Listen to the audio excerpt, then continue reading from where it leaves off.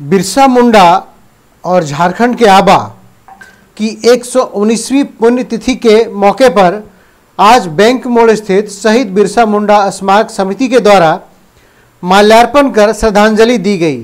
भगवान बिरसा मुंडा की पुण्यतिथि के मौके पर धनबाद एसडीएम राज माहेश्वरम ने माल्यार्पण कर श्रद्धांजलि अर्पित की।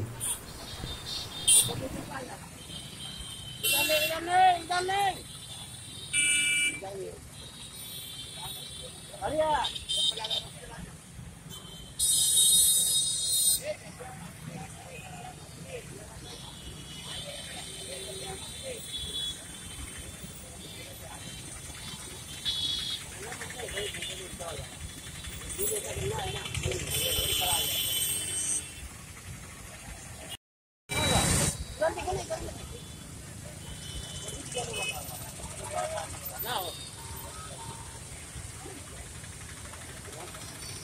你得放到这个位置